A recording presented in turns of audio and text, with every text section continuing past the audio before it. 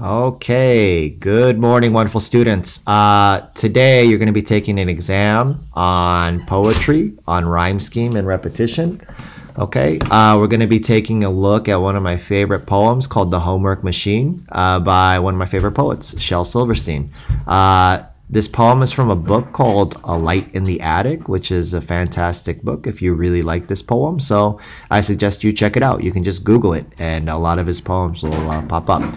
Okay, um, so as we're reading the poem today, please pay attention to rhyme scheme. Of course, rhyme scheme, you're paying attention to the last word in the line. Okay, so pay attention to the last word in each line, and if they rhyme, then they have the same letter.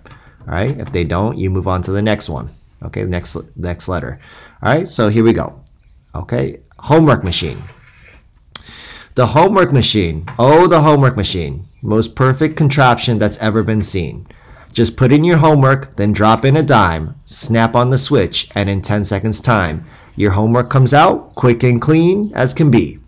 Here it is, 9 plus 4, and the answer is 3?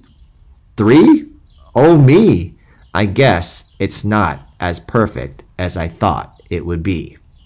Okay, so uh, go ahead once you've reviewed this poem, open up the Google Forms and take the quiz. Okay, uh, you will have questions about rhyme schemes, so pay attention to the last words in each line. Look at these last words, okay, and tell me what the rhyme scheme is. Also, pay attention to repetition. Um, and how does his opinion or how does his feelings towards the homework machine change? Okay, good luck, guys. Enjoy, and uh, we'll see you tomorrow.